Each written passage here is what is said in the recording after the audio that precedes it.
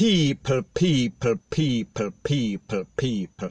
Que pasa, sac say what they do. Welcome to Jamaica Dancehall Source, your source for dancehall and our entertainment.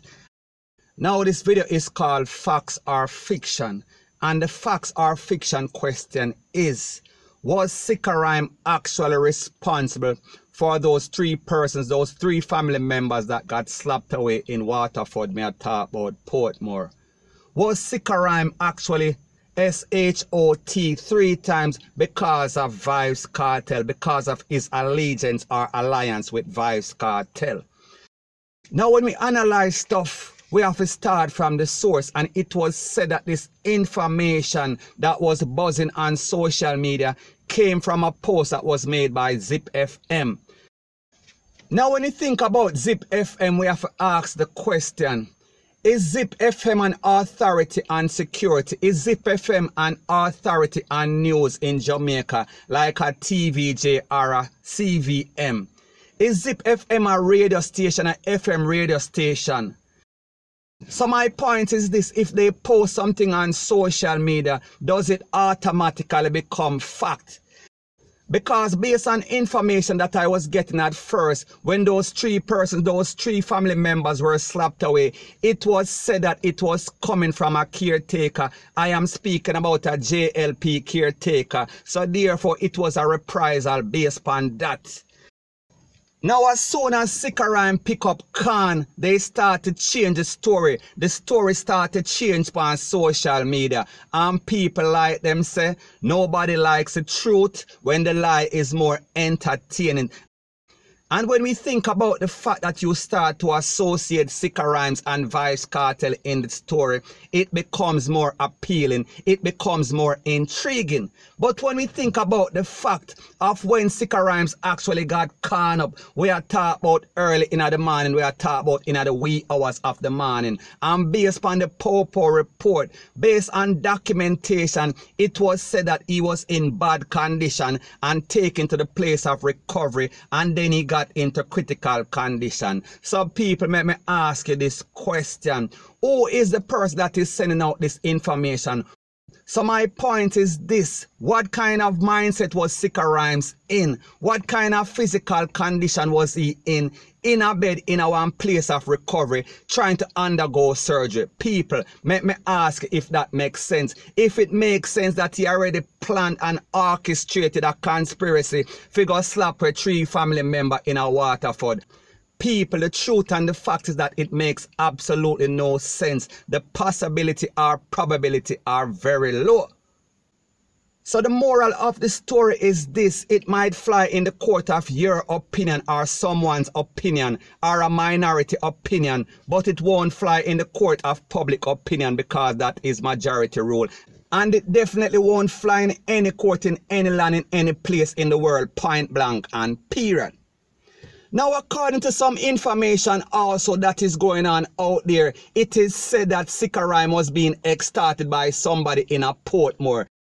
Now, when we think about Portmore, who is the name that is synonymous with Portmore? We are speaking about Vybz Kartel. We are talking about the dancehall legend. So you are going to tell me that there is a possibility that somebody is going to violate Sikka Rymes in Portmore, knowing very well that Vybz Kartel is associated with Sikka Ryme, knowing very well that Sikka Rymes is the right hand man of Vybz Kartel, especially since he has been incarcerated in the last couple of years. People, that makes absolutely no sense, point blank and period.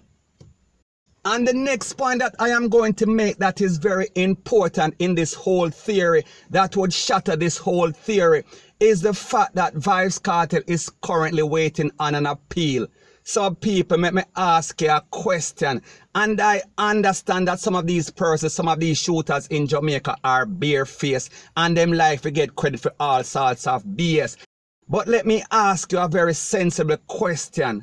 Would Vybz Kartel actually violate his appeal process, knowing very well that he has been incarcerated for over eight years? Would Sikka Rymes or anybody in Sikka Rymes camp actually pull off some sort of reprisal or revenge and knowing very well that it is going to link back to Vybz Kartel. And Vybz Kartel is always going to be blamed for anything that is affiliated with the Gaza and Portmore. So people, when we think about the whole situation logically, it makes absolutely no sense, point blank and period.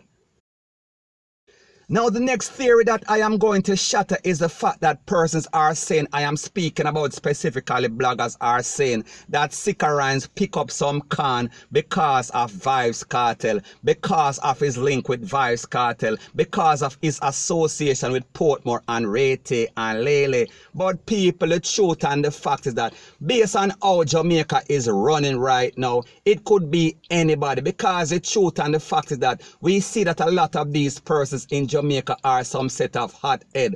We see that a lot of these artists, they are very hype.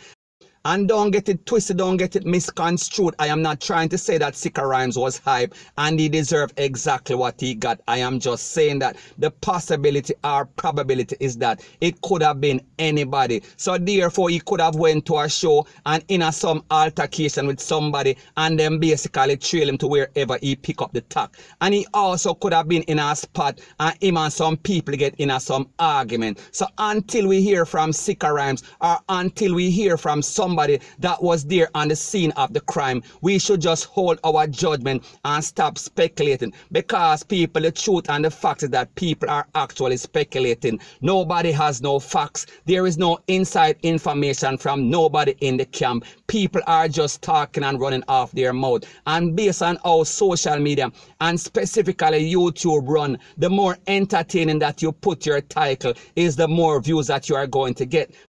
And like I said before, nobody likes the truth when a lie is more entertaining. So therefore, I am speaking about clickbaiting. So therefore, they are amping up their title, point blank and period. Because the truth and the fact is that nobody has any sort of information right now. So therefore, we should just leave it up to the investigators and time to get more clarity upon the whole situation. Now, one next thing that I've noticed is that we've heard from Lisa Hyper We've heard from Shawn Storm and they are wishing Sikka Rymes the best. However, we've not heard from Vybz Kartel. And people, there is a reason why Vybz Kartel has not said anything. And obviously, he is upset. And obviously, he wishes Sikka Rymes the best. Because, like me said, that is his right-hand man. That is his inside link from out of the street in the big yard. So people, this is the reason why Vybz Kartel has not responded. And the truth and the fact is that some people are going to say that silence is consent or silence is guilt. However, you have the rights as any legal person or any person to basically take the fifth. So that basically means that you have nothing to say, absolutely nothing. You are going to let justice take its course. Because the truth and the fact is that Vybz Kartel understand that his name is easy to call. He understand that he does not have much luck as it pertains to the justice system and the popo and all kind of mix up and passa passa and rete and lele. He understands that he is an eggshell. He understands that he is under surveillance by the justice system. So anything that goes down, he is going to always be a S-U-S-P-E-C-T. He is always going to be a person of interest, point blank and period. So I am sure that Vybz Kartel is in consultation with his lawyer from on the street and that lawyer is going to tell him, just keep silent, don't say a word, take the fifth, plead the fifth because you know how your situation is already.